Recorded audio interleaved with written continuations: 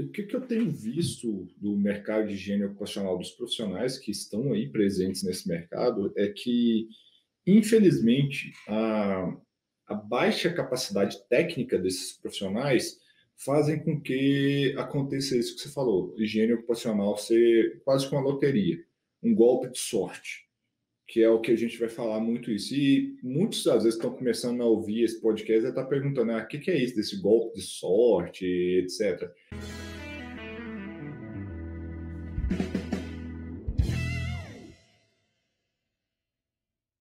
Olá, sejam bem-vindos ao Pausa para Respirar, o podcast semanal sobre higiene ocupacional da Analytics Brasil. Eu sou o Rodrigo. Eu sou a Gabriela. E eu sou o Leandro. Pessoal, vocês já sabem, né? Higiene ocupacional não, não é loteria, né? Não basta postar tudo em apenas um número e achar que isso vai resolver todos os seus problemas. Não é não, Rodrigo? Assim, olha, se fosse assim, tava até bom. Porque acho que dava assim, dependendo do que, que eu já vi aqui, é, é melhor do que muita coisa. Uai, porque eu pensei assim, quando a gente vai conversar com a maioria dos profissionais, é, é, a galera fica fazendo só aposta, mas vamos falar mais sobre isso no podcast aqui de hoje. Então, é, tem muitos procedimentos, métodos que a gente já vem abordando em vários episódios, né? Toda semana a gente, tá, a gente traz aqui, que é a forma mais adequada, né? De fazer as avaliações. Mas por que você acha que as pessoas ainda apostam né, só em um, uma ficha, né? Que é a avaliação? Rodrigo, é, cara, o que, que eu tenho visto do mercado de higiene ocupacional dos profissionais que estão aí presentes nesse mercado é que Infelizmente, a, a baixa capacidade técnica desses profissionais fazem com que aconteça isso que você falou, higiene ocupacional ser quase como uma loteria, um golpe de sorte, que é o que a gente vai falar muito isso. E muitos, às vezes, estão começando a ouvir esse podcast e estão tá perguntando, ah, o que, que é isso, desse golpe de sorte, etc. É, literalmente, tentar achar algum resultado, tentar achar alguma aplicabilidade com base numa coisa totalmente aleatória, que ele vai ali, que não sabe nem o que ele está fazendo e tenta colher um resultado daquilo que ele está fazendo. Então, é o que eu, às vezes eu chamo de higiene ocupacional da esperança, né? Então, isso realmente hoje eu tenho convicção é, que e o que acontece no mercado, a situação atual do mercado não é de má fé, e sim por causa da baixa capacitação técnica dos profissionais desse mercado, em termos de agentes químicos para higiene ocupacional. Então, eu às vezes eu escuto muitos profissionais falarem: ah, não, o mercado é muito ruim, etc. Blá, blá, blá, o pessoal quer só dar nó cego. Eu não acho que é nó cego por, por querer fazer a coisa mal feita, mas é, por falta de desconhecimento, falta de ter a noção do que minimamente a pessoa deve fazer. E aí é o que a gente vai falar aqui como que durante esse podcast, né, que não é para ficar postando tudo numa ficha só, não, saber fazer. Imagina só, é, isso que o Rodrigo trouxe da loteria, eu falaria que é um cassino também, né? Você vai num cassino sentar numa mesa de poker para jogar poker com suas fichas se você não sabe jogar poker?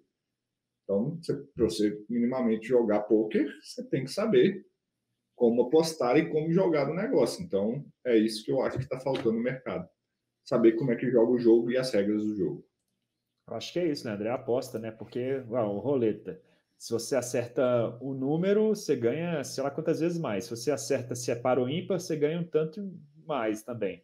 Então vai acaba que você não você está apostando para tentar ganhar mais, sendo que você está jogando a vida de outras pessoas, né? Não, Vidas de outras pessoas e geralmente dinheiro de outras pessoas também. Quando eu acho que isso é o principal, né? Porque se o higienista ocupacional fosse fazer higiene ocupacional do jeito que ela é feita hoje com o dinheiro dele, ele não faria.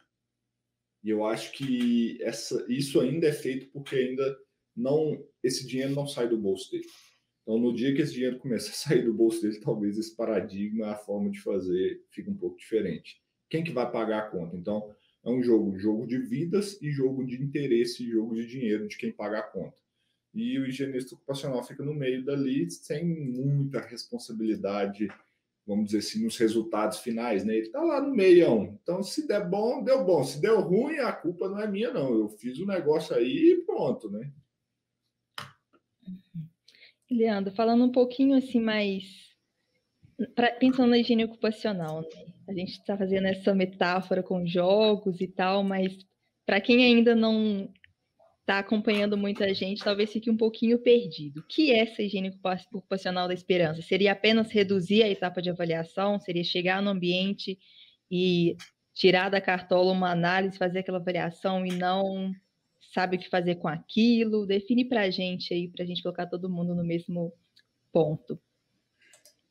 Então, higiene ocupacional da esperança foi um termo que eu criei assim num, belo dia eu criei o termo higiene ocupacional da esperança, que ele resume e exemplifica muito bem o higienista ocupacional que não tem nem ideia do que, que ele está fazendo com os agentes químicos e ele aposta tudo nele em uma análise. Ele acha que ele, para ele fazer higiene ocupacional, ele vai a campo com uma bombinha debaixo do braço, com um amostrador debaixo do braço, coleta uma amostra, manda para o laboratório e reza para ter um resultado. Então ele tem que cruzar os, da, os dedos, né? Ele tem que cruzar os dedos e ficar na esperança de ter um resultado. Então isso é resumir a higiene ocupacional simplesmente a avaliação, que é uma etapa muito cara, principalmente em se tratando de agentes químicos que se depende de um laboratório que tem que ser pago, você depende de equipamentos que são caros, e você resumir a higiene ocupacional, agentes químicos, a coleta de amostra, é um tiro no pé. Isso mostra um despreparo muito grande, né? isso mostra isso mostra, né? Isso mostra um despreparo muito grande dos profissionais em termos dos agentes químicos, porque eles não quer dizer que eles não dominam a higiene ocupacional, eles sequer entendem que para avaliar um risco, primeira coisa você tem que ter reconhecido esse risco. Não é sair fazendo medição a todo custo, que eu chamo também de cultura de medição, para ver se obtém um resultado. Na verdade, o que ele deve fazer é reconhecer o risco, julgar aquele risco e, caso ele julgue que seja necessário fazer uma medição para, tomada, para uma tomada de decisão, assim ele faz a medição. É isso que o higienista ocupacional de valor tem que se preocupar. Ele faz a medição quando é necessário. Quando ele é necessário. Isso muda o jogo para muitos profissionais, porque os profissionais que sabem isso se destacam nesse mercado e se tornam peças importantes nas empresas às quais eles trabalham, seja no SESMIT ou seja como uma consultoria. Diferentemente do profissional que é só um medidor de riscos, um coletor de amostra.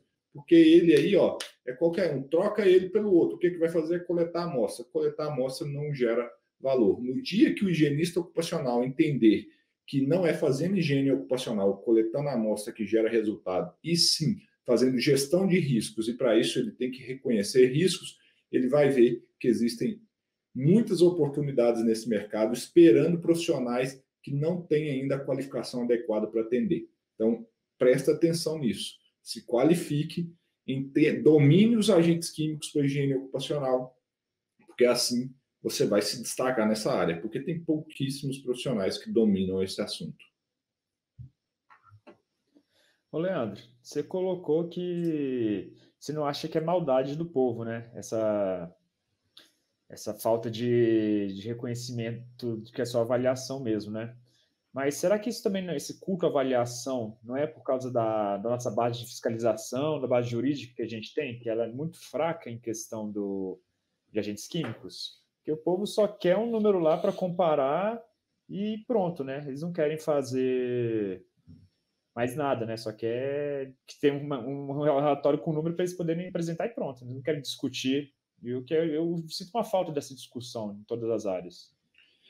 Isso é show de bola, Rodrigo. Isso mostra uma falta de clareza dos profissionais de, do que, que eles devem fazer, né? Qual que é a função do higienista ocupacional? Higienista ocupacional, um bom higienista ocupacional que gera valor, que é valorizado no mercado, ele está além das NRs.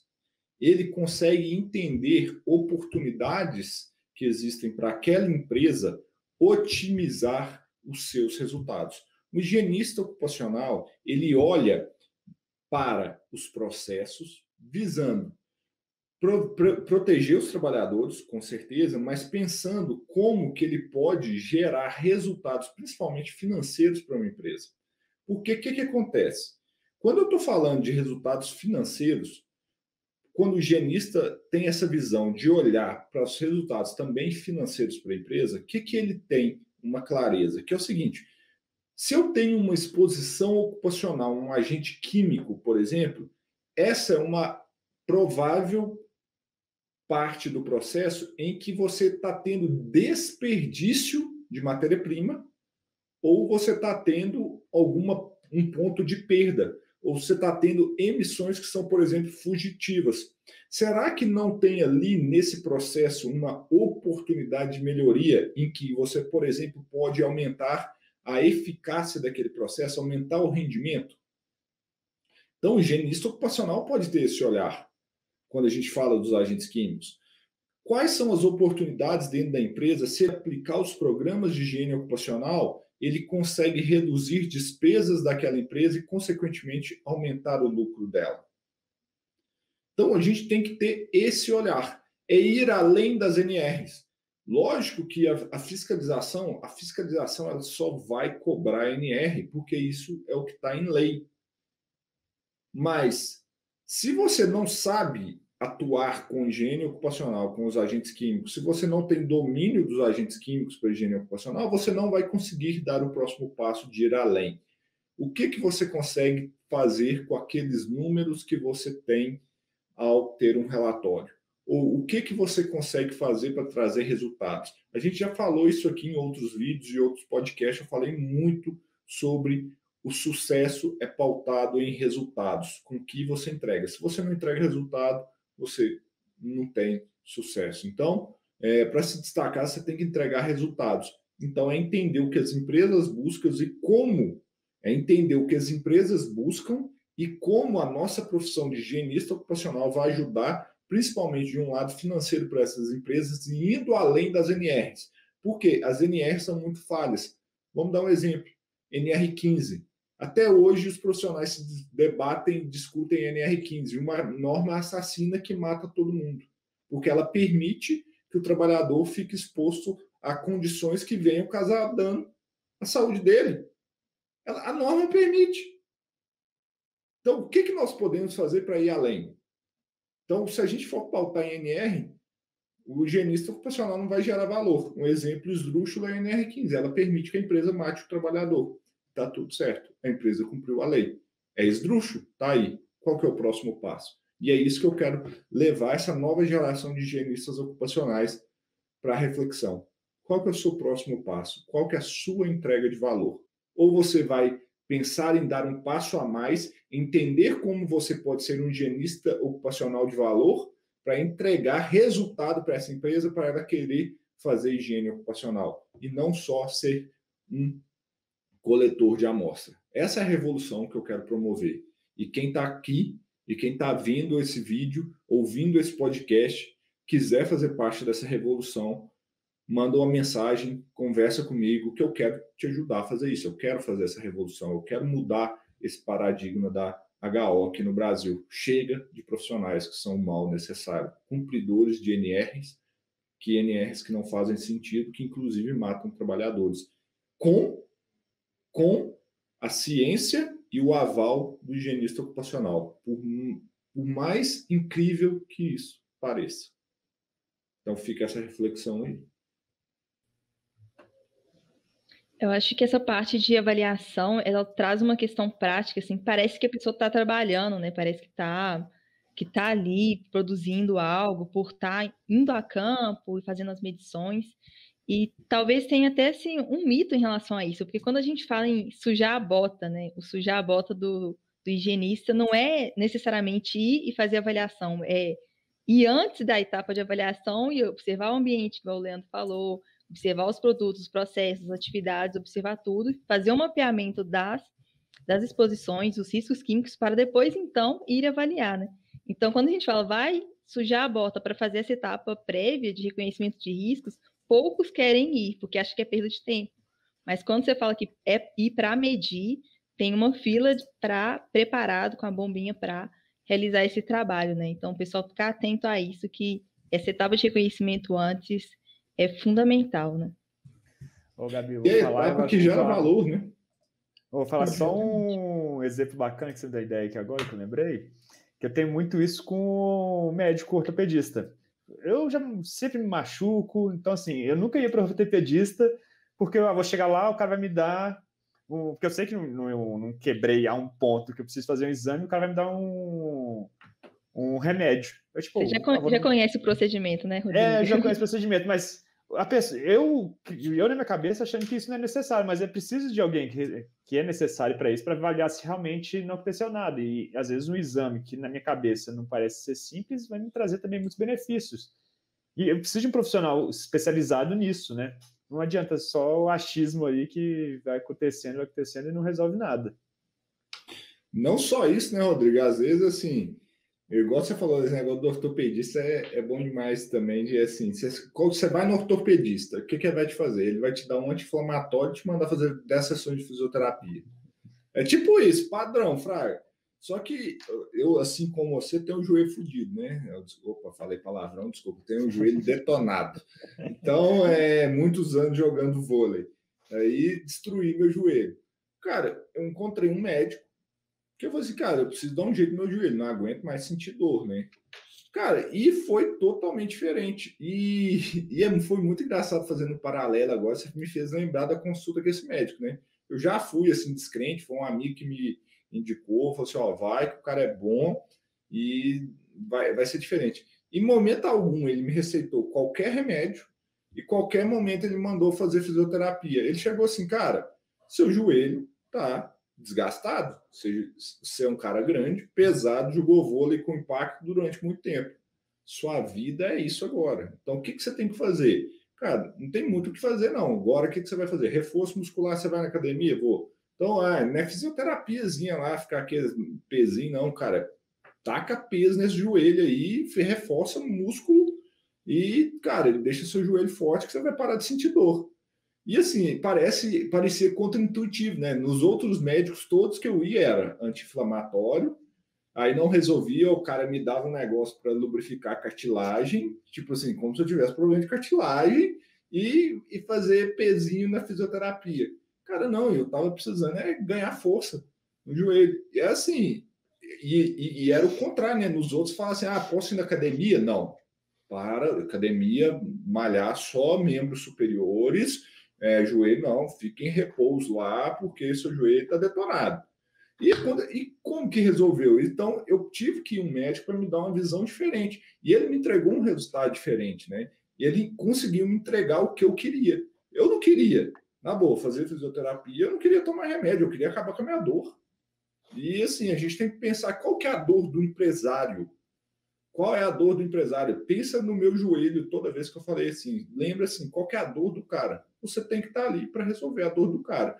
Geralmente é desperdício, passivo trabalhista, pontos onde ele está perdendo ações judiciais e por aí vai. Pense na dor e como você resolve o problema da dor do empresário.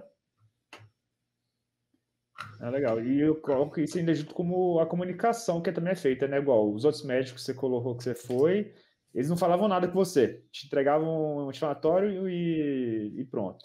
Tinha chance de pegar um médico também que ia falar um monte de nome complicado para você, explicar como funciona o seu joelho e te mandar anti-inflamatório também. Não adiantava nada. Então você precisa também ser um profissional que comunica na mesma linguagem de quem está escutando. O, o empresário, ele não vai saber os termos técnicos e para ele não faz diferença nenhuma o termo técnico. Mas ele tem que saber o que isso vai gerar, o que isso vai levar de benefício. Então você tem que saber com quem você vai conversar, o que você vai é, apresentar para cada pessoa. Então, beleza, você tem o. O Leandro gosta de falar muito, né? A pessoa vai vender uma avaliação química e fala: não, utilizo bomba de última geração, não sei o quê. Beleza, você usa isso. Você tem que apresentar isso para pessoa específica que isso vai fazer diferença. E outra coisa, né? Vocês estão até melhor que, que eu nessa parte de vendas, é qual o benefício de usar a bomba de última geração Mega Blaster? O que, que isso vai impactar no resultado do cara? Uhum. É isso. Assim, ah, isso aí vai trazer mais confiabilidade, vai trazer mais confiança. Cara, não, vamos supor. Então você tem que até parar para repensar. Será que compensa eu comprar a bomba ultra mega blaster do mercado que você controla lá de sua casa e ela faz a amostragem sozinha, por exemplo? Cara, não. Ah, se isso não for gerar valor, não for trazer benefício, tanto para quem você está prestando serviço, nem para você, talvez não faça sentido. Comprar uma bomba da Apple, né? É. Só para falar que tem uma maçãzinha Tipo isso. Gente, é só para provocar. O Leandro usa Apple, eu gosto de provocar ele. Só por causa disso. Mas eu não sou Apple Boy. mas ele usa os benefícios, eu vou admitir. O Leandro ele faz isso, mas ele realmente precisa e usa no potencial do equipamento que ele precisa. Pois é. O pessoal por causa de. Porque precisa, não pode deixar de barato assim, não. É isso aí. É, e também não adianta comprar a bomba mais a primeira que você encontra na esquina, que vai te dar uns resultados completamente errados, sem confiança nenhuma, e, e ok, né? Isso não é legal, mas é como se apresenta isso para o empresário, né? O que, que é importante para ele no final das contas, né? Não é o, o trabalho técnico em si, né? Mas como que aqueles dados, aquelas informações e o seu trabalho vai contribuir de fato no planejamento mesmo da empresa, né? É, isso que você tocou é fundamental, né, Gabi? Ah, vou comprar uma bomba, tá, mas qual? Essa bomba é a mais baratinha do mercado? Ah, será que ela vai trazer resultados que realmente são confiáveis? Tá? É isso que a gente tem que pensar, mas eu também preciso da última bomba de última geração, touch screen, comunicação uhum. com Marte. Você pode estar lá em Marte que você opera a bomba. Talvez não faça sentido a gente tem que sempre dosar o meio termo aí para saber. Tanto é que as bombas que a gente tem aqui, né? São as bombas do que? Melhor custo-benefício. É do parafusinho até hoje, um visorzinho de tempo ali pronto. É pé de boi excepcional, bomba intrinsecamente seguro, proteção de contra-rádio, frequência, é, estabilizador de fluxo de vazão e por aí vai. É isso. Precisa de uma Mega Blaster? Não. Eu tenho um excelente equipamento aqui, mas ele é mais rústico. Mas é o que a gente precisa. E atende muito bem. E, e aí, gente, como você faz para então? Porque assim, a gente, todo o pessoal que é engenheiro técnico costuma estar envolvido de engenheiros e técnicos o tempo todo, né? E te perde esse costume de conversar com pessoas de outras áreas. Como fazer para a gente se preparar para isso? Né? A gente no comercial, a gente começou a se preparar muito nisso, de fazer estratégias para poder abordar formas comerciais. Então, atender gente desde o comercial que não entende nada de higiene ocupacional até gente de higiene ocupacional para entender comercial, né? Como faz os técnicos e gente para se prepararem, né? Para conversar com jurídico, com funcionário que só está lá para fazer o trabalho dele, para conversar com o dono de empresa, o empresário, né? Como que faz para a gente se preparar para isso? Na minha visão, Rodrigo, tem uma ferramenta que funciona excepcional, é uma ferramenta acessível e todo mundo sabe usar. Pergunta. Cara, senta na frente com a pessoa e faz as perguntas que você deve fazer. Foi assim que a gente fez aqui. O que, que você precisa saber dessa pessoa? Elabore uma lista de perguntas importantes, relevantes, que você vai levar e perguntar para essas pessoas chaves. Um empresário, por exemplo, um exemplo simples. Qual o objetivo que você tem com esse trabalho? Uma pergunta simples. Ao cara, se eu quero atender os laudos. Ah, você já sabe. Alguma, você vai fazer um diagnóstico. Como que um médico faz uma anamnese, uma boa anamnese de alguém? Vamos voltar para a medicina, não é fazer pergunta? Como que é isso? Então, elabore boas perguntas e faça uma boa anamnese de quem você quer conversar. Você tem que se preparar para isso. Então, é perguntar, gente. É, é barato, é simples, você consegue fazer. Só simples, elabore as perguntas, perguntas boas. Não faça também perguntas idiotas que não vão te levar em lugar nenhum, né? Uhum. É. E você precisa entender, né? Precisa entender o que aquela pessoa precisa para você entregar o serviço que vai atender, né? Não só para o empresário, mas os colaboradores, os trabalhadores e, e, afins, né? Não tem como fazer nenhum trabalho sem entender o, o lado do outro, né? Não, total, né, Gabi? E, assim, para a gente entregar um bom trabalho para todas as partes, é primordial a gente entender tecnicamente o que é que a gente está fazendo. Então, uma coisa que tem que ficar claro na cabeça de todos que estão atuando em higiene ocupacional com agentes químicos é que não dá para ser um profissional meia-boca. Não dá para ser aquele profissional que não entende o porquê que você está fazendo um determinado procedimento de avaliação, como que você tem que fazer um procedimento de avaliação e o porquê disso. Não seja esse profissional que é um mal necessário, que se resume a coletar uma amostra sem saber sequer por que está fazendo essa amostra, muitas vezes não sabe como fazer essa amostra, e o pior, na hora que chegam os resultados, não sabe o que fazer com aquilo. Então, o mercado hoje está saturado desse profissional que é um mal necessário, que ele sequer sabe quais são as entregas que ele precisa fazer. Ele não domina tecnicamente o assunto ao qual ele visa trabalhar. E eu não sei como que essas pessoas ainda se se permitem trabalhar nessa função. Imagine só, quero fazer um paralelo aqui e botar cada um dos higienistas ocupacionais que me ouvem e me veem aqui agora para refletir. Você vai num médico e ele tem que fazer um procedimento em você, cirurgia. Você vai no médico, que é aquele que te demonstra segurança capacidade técnica naquilo que ele está fazendo, ou você iria fazer um procedimento cirúrgico num, médico que não sabe por que, que ele está fazendo, como que ele está fazendo e ele é inseguro naquilo que ele está fazendo. Você faz perguntas para eles, ele titubeia na hora de te responder. Ele não passa confiabilidade no que ele está fazendo. Então, se você quer dar os próximos passos, principalmente em relação aos agentes químicos, que é o que está em grande maioria nas empresas, são os agentes químicos, são milhares, milhões de substâncias químicas que podem estar presentes no ambiente de trabalho, você precisa estar apto tecnicamente para atuar com agentes químicos. E aqui vai um recado: os cursos de formação não te preparam para isso. Você é solto no mercado de trabalho despreparado, seja você um técnico de segurança do trabalho, seja você um engenheiro de segurança do trabalho, e se for de outra área ainda, pior. Você não aprende, você não aprende ferramentas e técnicas para dominar os agentes químicos e ter facilidade na hora de atuar com avaliação, reconhecimento e controle desses riscos. Então você vai ter que buscar fontes externas. Isso é uma realidade, eu já vou te contar e os agentes químicos é, são uma área da higiene ocupacional que tem mais oportunidade, pela quantidade de agentes, a diversidade de coisas que tem e pela falta desses profissionais qualificados. Então, quando um profissional se qualifica e domina esses agentes químicos, ele tem uma oportunidade, uma grande chance de se destacar nesse mercado, porque ele arranca na frente da grande maioria. Então, é, o recado que eu dou, e eu realmente tento entender como que vários profissionais desse mercado ainda atuam em alguma uma área sem saber o que estão fazendo. Isso é muito grave. Isso é muito grave. Pense no seu futuro.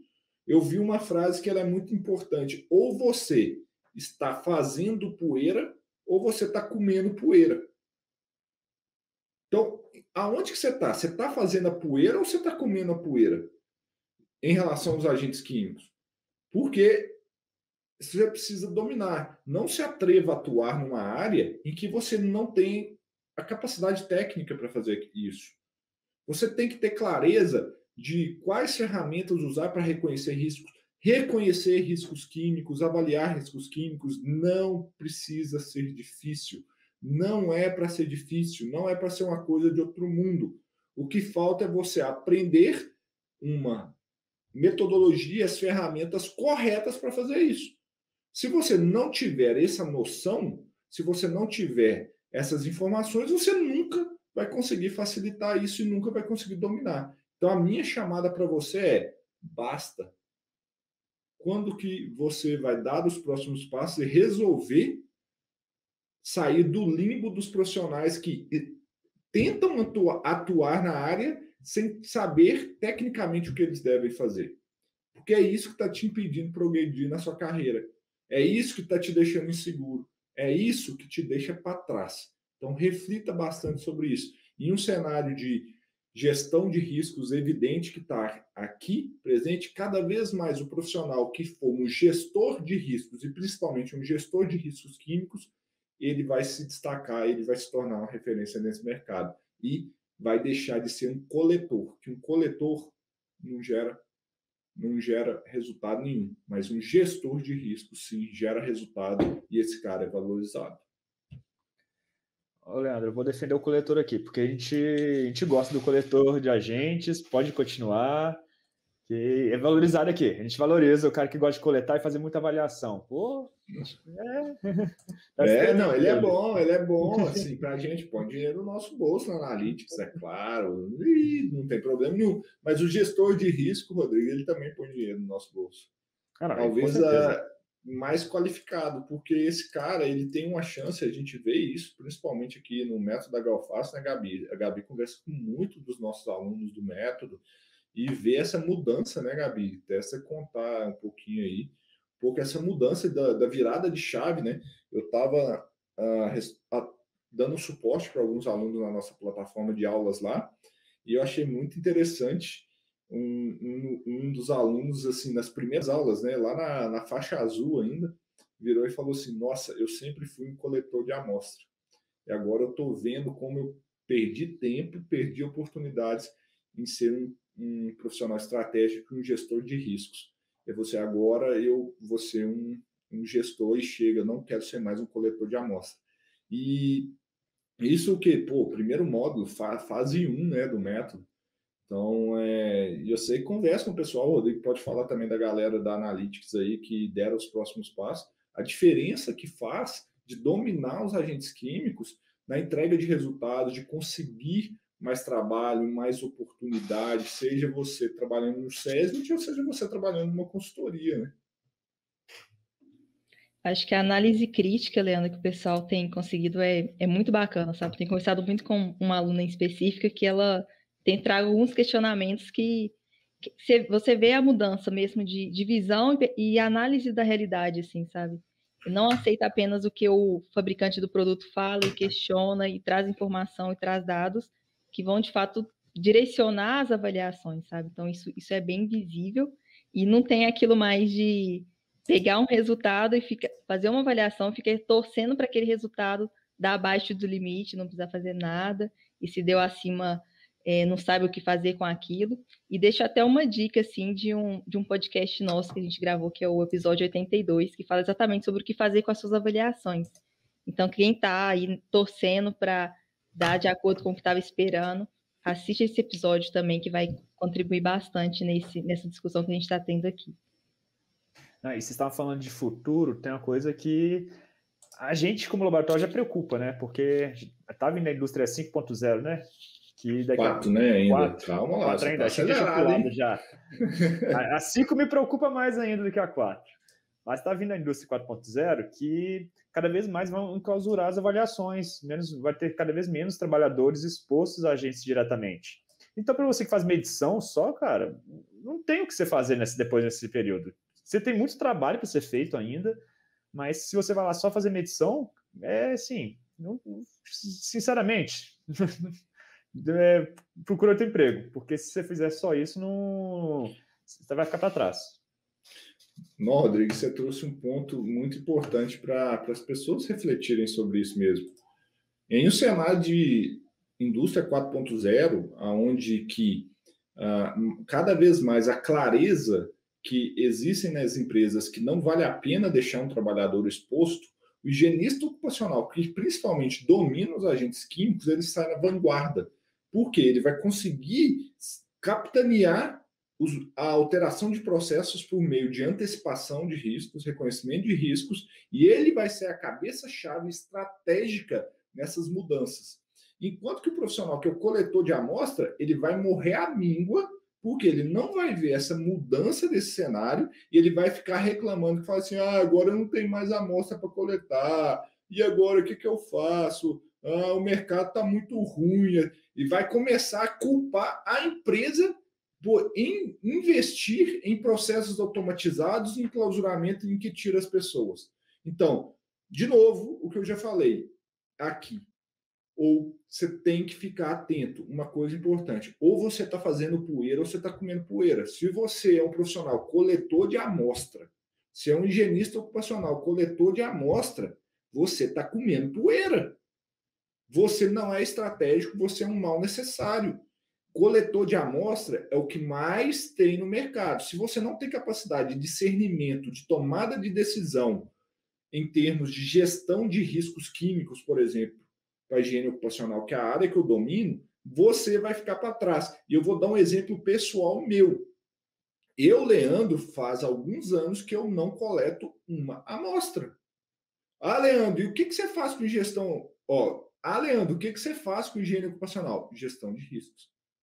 Eu sou chamado para fazer reconhecimento de riscos, eu sou chamado para fazer antecipação de riscos e sou chamado para tomar decisão com base nos dados do coletor de amostra. E aí eu quero perguntar para quem está aí, quem que você acha que é mais valorizado nesse mercado? O Leandro ou quem coletou a amostra?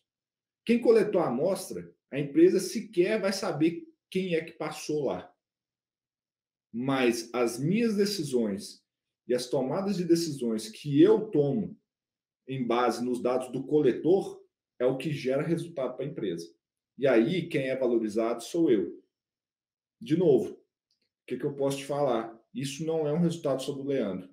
Isso são resultados de dezenas de alunos do método da Galface Agentes Químicos que viram essa oportunidade e viram que dá para fazer poeira e não comer poeira. Então, deixa de ser um coletor de amostra, porque principalmente no cenário de indústria 4.0. Na indústria 4.0, o coletor de amostra vai morrer à míngua, porque não vai ter amostra para coletar. E se você não, não aprender uma forma de tomar decisões com base em dados, esquece. A área vai ser ruim para vocês. Eu acho que essa é uma reflexão importante que você deve fazer no seu papel como higienista ocupacional, principalmente ligados aos agentes químicos. Acho que nós fechamos com chave de ouro e convido o pessoal também, para quem está nas outras redes sociais ou quem está no YouTube, comentar aqui embaixo. Se você tem feito higiene ocupacional da esperança, se você tem feito de fato os reconhecimentos de riscos, se você tem sido estratégico aí nas suas decisões, como que tem sido seus trabalhos aí nessa área. Comenta para a gente, para a gente saber um pouquinho aí de como vocês estão lidando com isso e o que, que vocês estão achando dessa discussão. É isso aí. Eu também, se alguém defende ela aí, eu quero escutar. Quem defende a Recuperação da Esperança, coloca seus pontos aí que eu estou muito curioso.